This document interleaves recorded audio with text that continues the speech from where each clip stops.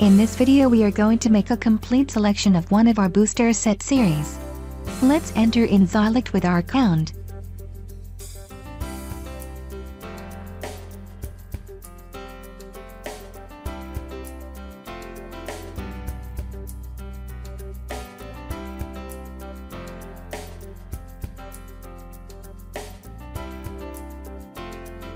There are three different ways we could use for our selection, the final results will be the same in any case.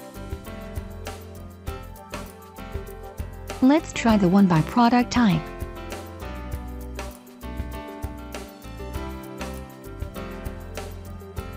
Once the new page is open we should click on booster sets and then flag the GHV series, which is one of our variable speed pressure booster sets.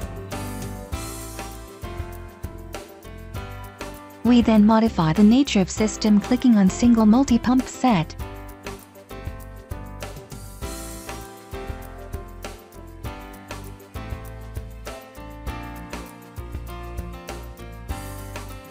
We now define the duty point in the following strings keeping in mind that the flow will be the total flow accordingly to the number of pumps needed, and not the one for the single pump.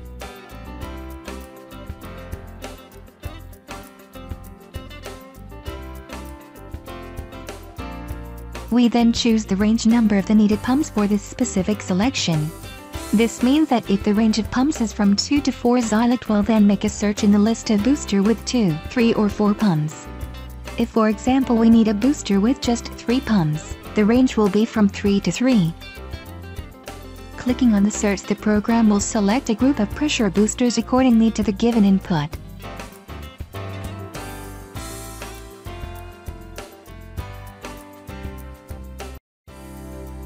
The result is a screen with many boosters, selected by the program accordingly to the given input. In the center of the screen there is a graph which defines the working area of the selected product. Let's click on search option to see another way for configuring our booster set. We are now going to show you what happens if we insert a standby pump in our selection. First of all we define the same duty point we used before. Secondly we click in this drop-down menu to add a standby pump to our booster set. Automatically the program changes the range of the available working pumps accordingly to our previous action. This means that if before, without the standby pump, the number of pump range was up to 4, right now the maximum number is 3 since the fourth pump will be the standby one. Clicking on the search, Xylect will change the proposal of pumps accordingly to the new given input.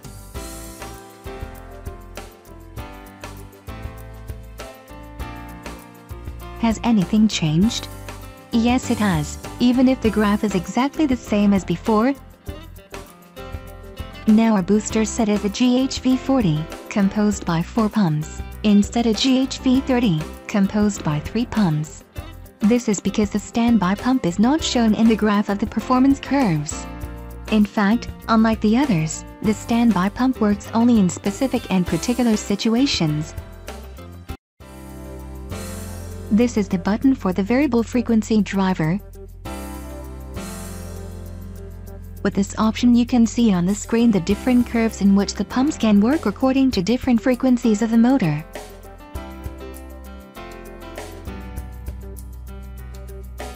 On the right side of the screen we have a series of standard option with all the possible configurations of our booster set, all link each other. At the moment they are set as standard configuration, but we can select other option, clicking on the drop-down. For example, if we select no suction manifold some items are automatically going to disappear from the possible configurations, Xylect hides entries that are not compatible with the selected options to avoid mistakes from the user side.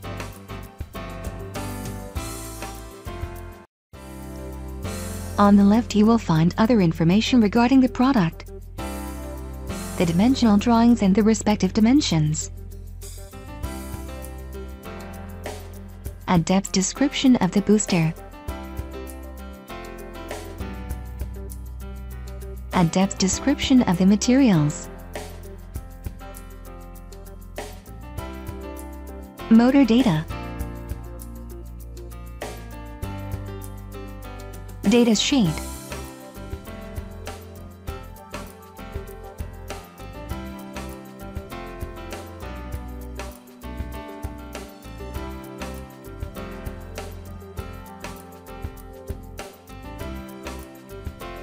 When available 2D drawings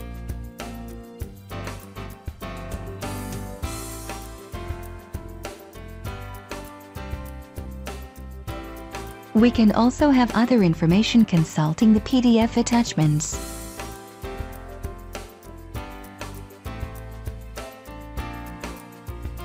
Now, if the product is right configured for our use we click on Finish button.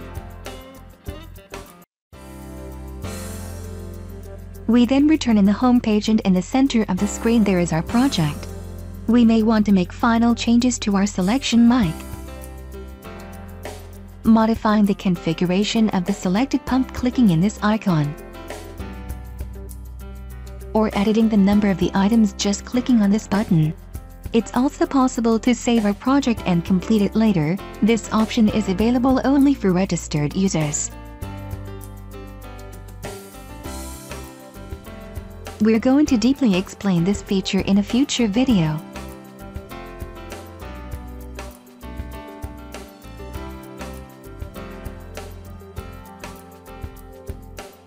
To complete our selection we may want to add other information about ourselves.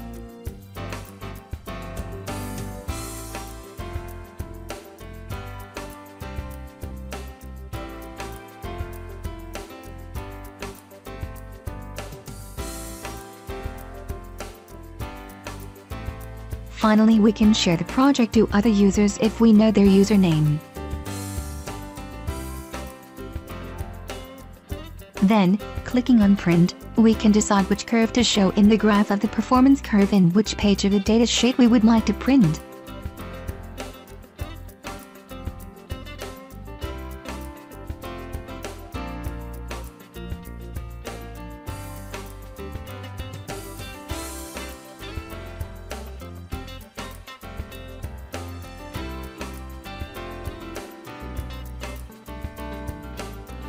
Our selection is complete.